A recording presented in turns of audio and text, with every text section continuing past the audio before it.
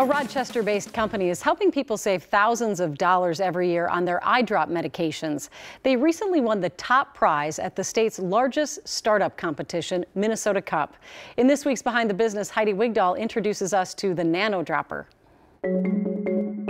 There's a big vision behind these tiny drops. Here is a normal size bottle. These bottles currently dispense drops that are up to five times too big for the human eye. Then we have an adapter that goes right on top and our nano dropper tip reduces the droplet size down to what's perfectly suited for the human eye. Allisa Song, CEO and co founder of Nanodropper, says this saves customers up to $2,500 per year per prescription. We actually are the world's first eye drop bottle adapter that reduces the volume of the medication. Song says it all started after reading an article on how drug companies purposely make eye drops larger than the human eye can hold. Eye drop bottles dispense anywhere from 35 all the way up to 70 microliters in volume. Our eyes can only hold about 7 to 10 microliters. On average, the adapter is able to make the bottle last three to four times longer. We hear, especially from patients who run out of their medications before the end of the month,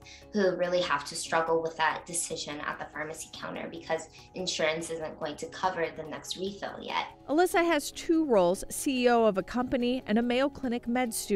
The NanoDropper team entered in the state's largest startup competition, Minnesota Cup.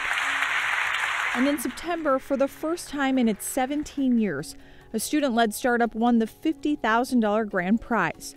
That's on top of the 25,000 they won for their division, money that'll be used to invest in their company. It really was a huge win for us. And they want to keep removing barriers for others. For Behind the Business, Heidi Wigdahl, KARE 11 News.